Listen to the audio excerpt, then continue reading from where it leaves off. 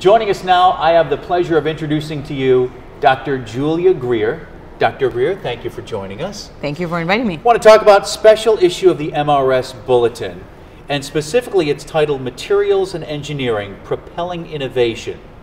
So talk to me about research and engineering. They, they are closely related disciplines, but there is also a gap between the two.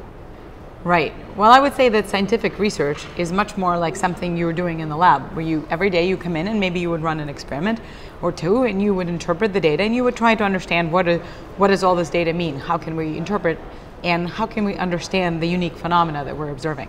And now, what engineering and perhaps even more relevant um, innovation is all about is how do we then use these concepts that we discovered towards applying them towards something real, like a real technological application or a real material? How do we actually create a new advanced material, or how do we actually harness all these interesting phenomena that are offered to us through research and then apply them to real life? And you are mostly known as a researcher. So, in your experience in the lab, how often is consideration given to the needs of engineers who will then be developing your work?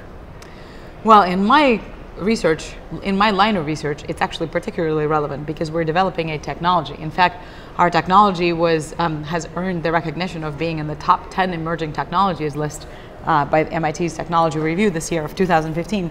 So we are very close to converting into a real product. In fact, mm. so what we uh, what our research is focused on is on creating these nano-architected, three-dimensional structural metamaterials, which is a mouthful. So these it are very, very, very new uh, type of material, which is very, very lightweight and at the same time very strong and damage tolerant. So it would be great if we could make maybe a sheet of paper like this, right? That you wouldn't be able to tear and that you wouldn't be able to damage in any way and that would be waterproof, for example, right? So it'd be a sheet of paper that would weigh less than a feather and would be very, very strong and you would never be able to tear or rip it. So for us, the innovation is very close, in fact. In fact, we would like to be able to make large quantities of it um, because the applications of these materials are quite ubiquitous. Yeah, and self-evident, yeah. You'll be giving one of three talks prior to the panel discussion. So what are the themes, some of the themes of your talk? Well, this this is the major um, sort of the the thread through all of my talks.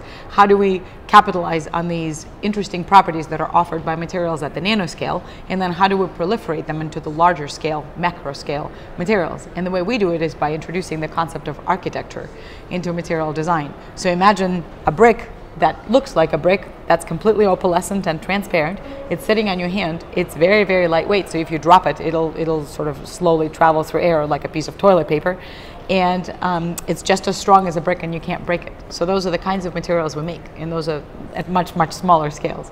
Uh, but that's the kind of uh, research that we do. It, it's it's fascinating, and I would be remiss if I didn't also mention to everyone that you are a concert pianist. So I how am a concert pianist. Not only are you a great researcher and scientist, but you're a wonderful artist as well. How does that play you. into, you know, it's such a different field, but you are an expert at both. How does that work? It's become such a part of me. So it's, I, they, they sort of, I don't exist without one or the other. So, so there's the creative aspect to both of them, and they really reinforce one another. So I draw inspiration from both, and sometimes I just need a break from one or a break from the other, and so the other one fulfills that. It's, they're kind of like a yin and a yang. Always Yeah. a fascinating interview. Dr. Greer, thank you so much. Thank we'll you. work on getting you a piano. Please, next time. And enjoy the meeting. Thank you so much.